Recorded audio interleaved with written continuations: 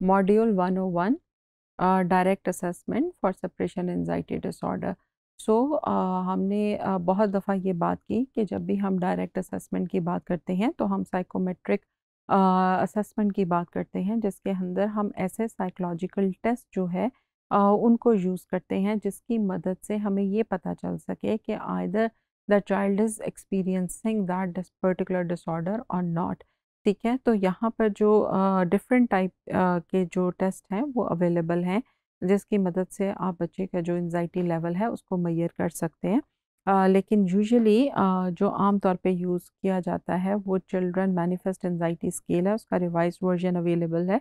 इसी तरह state and trait anxiety scale for children है जिससे आपको ये पता चलता है कि उस टाइम पे state at the moment and the trait later on later on और the complete pattern of his or her personality जो है वो किस किस्म की है उसकी तो ये भी आपको इससे पता चलेगा। Then multidimensional anxiety scale for children इसकी मदद से आपको उसके जो डिफरेंट लेवल्स हैं, जिस तरह फ़िज़िकल एनजाइटी कितनी है, उसको, उसकी कॉग्नेटिव जो अप्रेजल्स हैं, वो किस किस्म की हैं, इस किस्म की जो सारी मल्टी डायमेंशनलिटी होती है रिगार्डिंग द एनजाइटी वो आपको पता चल सकेगा। यहाँ हम इनको वन बाय वन डिस्कस करेंगे। फॉर एग्ज़ाम्पल अगर हम बात करते हैं revise children manifest anxiety scale की तो इसके अंदर मेनली आप देखेंगे कि 37 आइटम्स हैं और 37 आइटम्स में जो रिस्पॉन्स देने हैं बच्चे ने, वो येस और नो में देने हैं। सो, फॉर एग्ज़ाम्पल पहला आइटम है I have trouble making up my mind तो अगर तो बच्चे को ये प्रॉब्लम होगा तो डेफिनेटली वो यस के ऊपर रिस्पॉन्स करेगा और अगर नहीं होगा तो वो नो को सर्कल कर देगा। ठीक है, इसी तरह आई गेट मैड ईजीली तो अगर इसका उसने यस जवाब देना है तो वो यस को सर्कल कर देगा, अगर नो करना है तो वो नो को सर्कल कर देगा, या टिक कर देगा। ठीक है, इसी तरह आई एम ऑलवेज गुड तो इसमें अगर उसने यस कहना है तो वो यस को टिक कर देगा, अगर नहीं कहना तो वो नो को टिक करेगा, ठीक है? इसी तरह इसमें आइटम है आई एम नर्वस तो इसमें भी अगर उसने यस कहना है तो वो यस को कर देगा नो कहना है तो वो नो को कर देगा। इस तरह आपके पास एक टोटल इसका स्कोर आ जाएगा, जिसकी मदद से आपने इसके परसेंटाइल और इसके नॉर्म्स में जो है उसकी स्टैंडिंग देख के देखना है कि आइधर बच्चा जो है वो कट ऑफ़ से ऊपर फॉल कर रहा है या नीचे फॉल कर रहा है। देन हम स्टेट रेट एनजाइटी स्केल की बात करते हैं। तो इसके अंदर जो फ़र्स्ट पार्ट है, वो एट द मोमेंट है, ठीक है? At the moment here we go so here you can see कि एट द मोमेंट यानी उस वक़्त, जिस वक़्त बच्चे को आपने ये क्वेश्चन एयर दिया है, हम उस वक़्त के बारे में पूछ रहे हैं। लाइक द चाइल्ड से आई फील काम तो इफ़ ही फील्स काम तो वो ये कहेगा कि वेरी मच सो ठीक है तो वो फोर पे कर देगा। अगर वो उसको लगेगा मॉडरेटली सो तो वो थ्री पे कर देगा। सम वट पे वो टू पे कर देगा। नॉट एट ऑल पे वो वन पे कर देगा।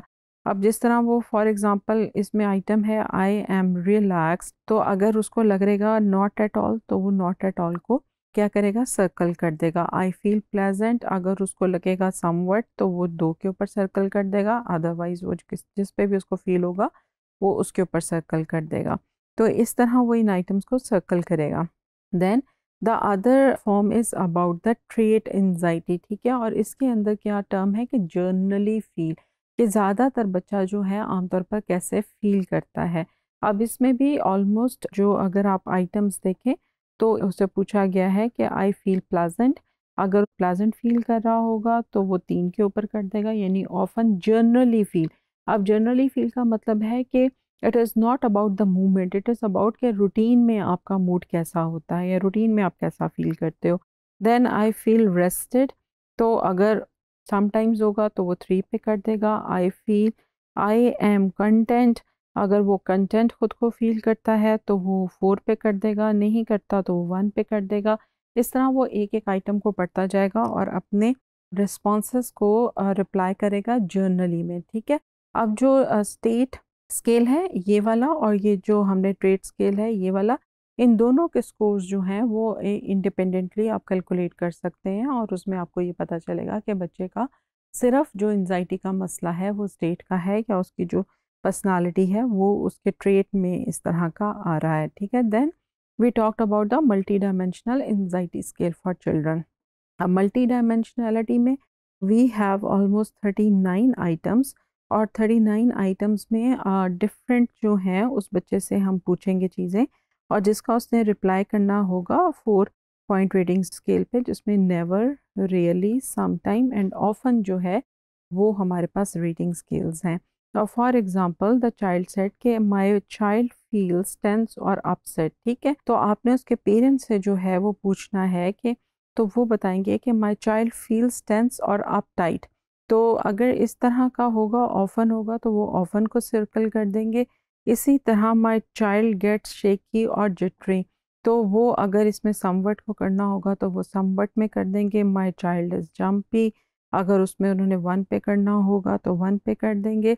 इसी तरह इस वाले भी सारे आइटम्स को वो क्या करेंगे? फिल करेंगे। जैसे my child feels shy never तो उसको नेवर पे कर देंगे। तो इस तरह जो सारे आइटम्स हैं, उनके रिस्पॉन्स पेरेंट्स देंगे और ये इसमें हमें हेल्प मिलेगी मल्टी डायमेंशनलिटी ऑफ़ एनजाइटी को मैयर करने में as well as total score of anxiety level को भी मैयर करने में। और इस तरह के डिफरेंट टेस्ट जो हैं, वो आप यूज़ कर सकते हो किस रेफरेंस में? इस चीज़ को मैयर करने के लिए कि बच्चे का एनजाइटी लेवल जो है वो कितना है।